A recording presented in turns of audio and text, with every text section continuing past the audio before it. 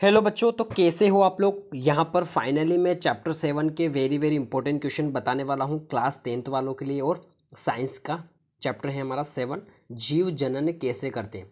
बच्चों, मैं परीक्षा अध्ययन से भी बताऊँगा और प्रश्न बैंक में से भी बताऊँगा। दोनों आपके पास अगर अवेलेबल है तो टिक लगा लीजिए। जिन बच्चों के पास अगर परीक्षा अध्ययन है, सबसे पहले परीक्षा अध्ययन निकाल लीजिए। उसी में से हम देखने वाले हैं, सबसे पहले उसके बाद में प्रश्न बैंक में से बताने वाला और जो बच्चा बिल्कुल ही नया देख रहा है तो हमारा पिछले छः चैप्टर हमने कवर कर लिए हैं। उसके सारे इंपॉर्टेंट मैंने प्रोवाइड करवा दिए बच्चों को। तो वो वीडियो ज़रूर आप चेकआउट ज़रूर कर लिए ठीक है? तो आइए शुरू करते हैं। इस चैप्टर से आपका दो नंबर का क्वेश्चन बनने वाला है बच्चों, ठीक है? तो अति लघु उत्तीर्ण प्रश्न आपके लिए बहुत इंपॉर्टेंट होने वाले हैं। सबसे पहला क्वेश्चन करना है, जनन क्या है? जनन के बारे में आपको अच्छे से पढ़ लेना है, ठीक है? फिर पढ़ना है आपको अलैंगिक जनन के बारे में पढ़ना है और कायिक प्रवर्धन क्या होता है? बहुत इंपॉर्टेंट है। ठीक है, ये भी पढ़ना है। मुकुलन क्या है, ये पढ़ लेना आपको, ठीक है। फिर करना है द्विखंडन और बहुखंडन, दोनों परिभाषा अच्छे से आपको पढ़ लें ठीक है। नेक्स्ट देख लेते हैं। देखो, जो इम्पोर्टेंट होगा वही हम पढ़ने वाले हैं। उसके बाद नीचे आ जाइए। देखो, लैंगिक जनन किसे कहते हैं, ये वाला कर लीजिएगा। परागण क्या है स्वपरागण क्या होता है, पर परागण क्या होता है। परागण से रिलेटिव क्वेश्चन अच्छे से पढ़ लीजिएगा।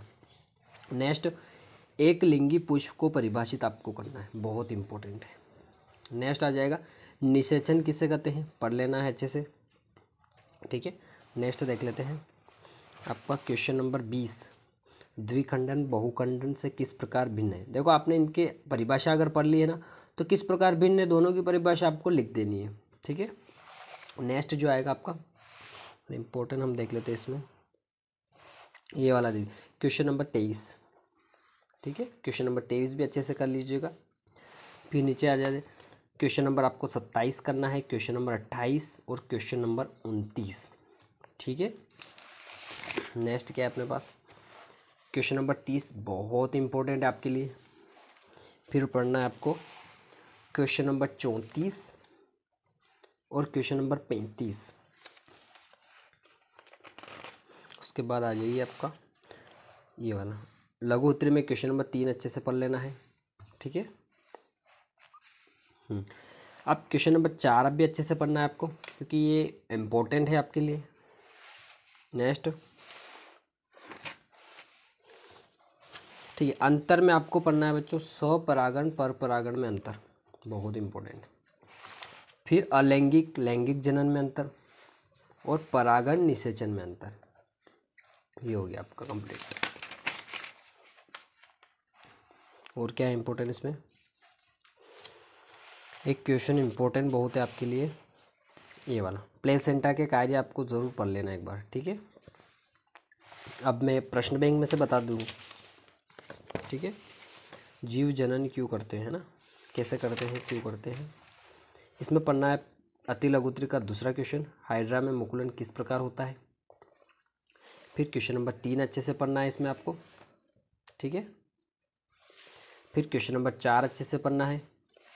क्वेश्चन नंबर पाँच, फिर नीचे आ जाइए। क्वेश्चन नंबर छः, सात और भाग ब में क्वेश्चन नंबर फ़र्स्ट और फिर पढ़ना है क्वेश्चन नंबर तीन। के बाद देख लेते हैं। क्वेश्चन नंबर पाँच पढ़ना है। ठीक है, अब भाग ब यहाँ पर लैंगिक, अलैंगिक जनन में अंतर ये वाला पढ़ना है। क्वेश्चन नंबर दो, परागण निषेचन में अंतर। ये पुष्प वाला ज़रूर कर लीजिएगा ठीक है? और द्विखंडन, बहुखंडन में अंतर। ठीक है, ये वाला देख लीजिएगा एक बार। और क्या इंपॉर्टेंट इसमें? ठीक है। मनुष्य में गर्भाधारण रोकने के चार उपाय ये ज़रूर कर लीजिएगा ठीक है? तो मिलते हैं नेक्स्ट चैप्टर के साथ। अभी के लिए इतना ही। थैंक यू बच्चों।